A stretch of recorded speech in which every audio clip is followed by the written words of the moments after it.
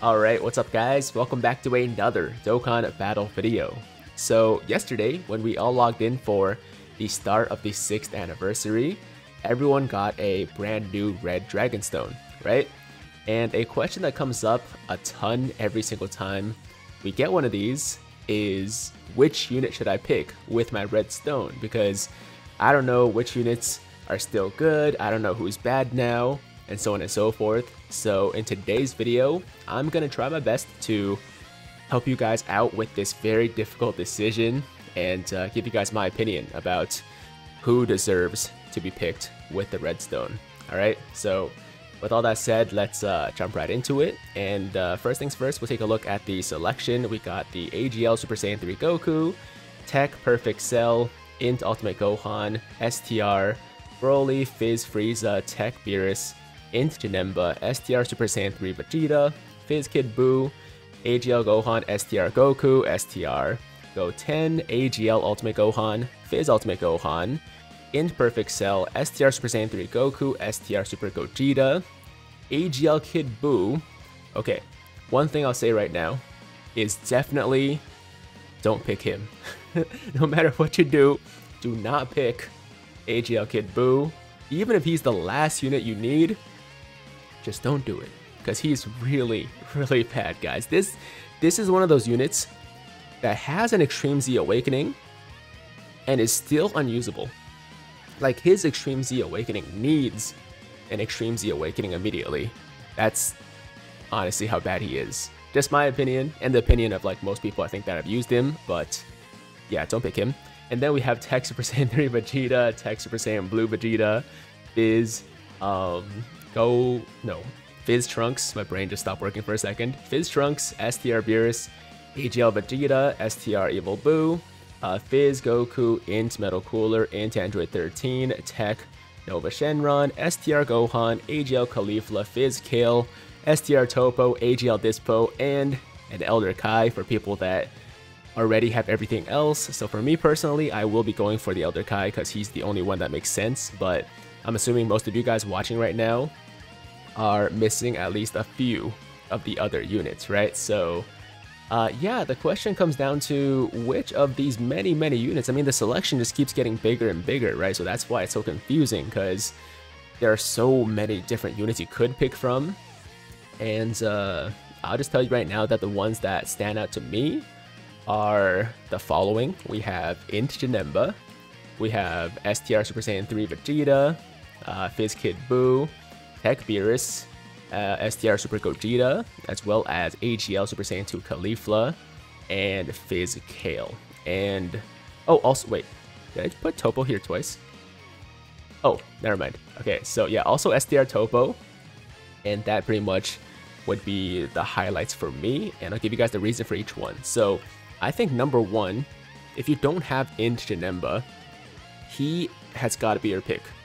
He, I think, is still the best unit out of uh, all the available units in this selection, mainly because he is an incredible tank, an incredible, incredible tank, and he's also a very good damage dealer too. Like his damage output for how old his EZA is, I mean, you can see The first Extreme Z awakened on JP in 2018, and then in August of 2019 for global. So if you guys hear some sounds in the background, that's uh, Android 18 sneezing.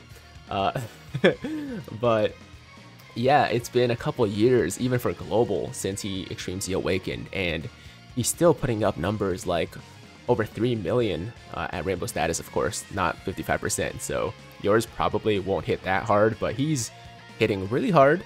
And also his defense is still very, very good, man. The guarding against all is key. And he also has that medium chance to dodge super attacks as well, or just all attacks in general. And, um, you know, good link set for him too. Like he's just a really, really good unit, man. So if you guys don't have him, and you have a team to run him on, of course, then this guy has got to be your pick. He is easily, in my mind, the best unit in the entire pool right now. And then we have the STR Super Saiyan 3 Vegeta, who is very, very useful, you know, for especially Super Battle Road, Extreme Super Battle Road, any event where you need to tank, you know, enemies that hit extremely hard. this guy has gotten me through so many stages of uh, Super and Extreme Super Battle Road just because of that crazy 80% damage reduction for 10 turns. And then he also can do some good damage if you are able to stun the enemy. Of course, this is not always guaranteed. Uh, one thing I will say is if you want to build him properly, I would give him as many additionals as possible because what you can do is, you know, the, the first super can stun the enemy, and then the second super can get the additional 120% attack boost for the, you know, big damage numbers, right? So um, I would definitely go with additionals for him, but just in terms of usefulness, um, I think he is, you know, pretty close to Janemba, and he will help you out a lot in some of those harder events. So definitely Super Saiyan 3 Vegeta should be heavily considered. And then we have the Fizz Kid Buu, and for this guy, I mean, his damage is not that impressive. His defense is very bad, but he is one of the best supports in the entire game. And of course, I'm talking about all these units after their Extreme Z Awakening, so keep that in mind. Alright, before Extreme Z Awakening, none of them are actually that good, but post Extreme Z Awakening is what I'm talking about. So, um, yeah, he is one of the best supports in the game. All allies Q plus 2, attack and defense plus 50% when HP is 80% or above. I'm pretty sure this is the the highest all allies um, support in the game still. You know, like we get we get pretty good support for like certain types or extreme or super from other units, but in terms of like all allies, like a rainbow support, I guess, Kid Buu is still the best, right? And of course, it drops down to only 30% when below 79% HP. But uh, he's just such a good support, and he's also good on like so many good teams, like you know Majin Buu Saga, Transformation Boost, um, Resurrected Warriors, Majin Power, so on and so forth. So I would go for him if you guys don't have Janemba or Super Saiyan, or already have, rather, already have Janemba and Super Saiyan 3 Vegeta. And then after that, we have Tech Beerus, who isn't really uh, too fancy. It's just, um, you know, good, really good damage, actually, after he Extreme Z Awakens. And he also has some decent defense. And uh, there's also the rage mode, of course, which is kind of cool. Um, because his rage mode is slightly different, right? He has three different super attacks, and the, I believe, 12 key super here. Yeah, 12 key super has a high chance to stun too, so that's kind of cool. But um, yeah, Beerus is not really super high on my list to be honest, but if you already have the other three, then I would consider this guy as well. And obviously, at the end of the day, it comes down to which units you need the most, right? It depends on your box, depends on which teams you're trying to build. So if you're trying to build like a Realm of Gods team and you could use a Beerus, then, you know, obviously Beerus would be higher on your list. If you're trying to build another team where another unit would slot in better, then obviously those units make more sense for you, right? So even though I'm like giving you guys my opinion about who's good, you know, just like in a vacuum, I guess, um, it still really is dependent on your personal situation. So definitely keep that in mind as well. Alright, so moving on from Beerus, we have STR Super Gogeta.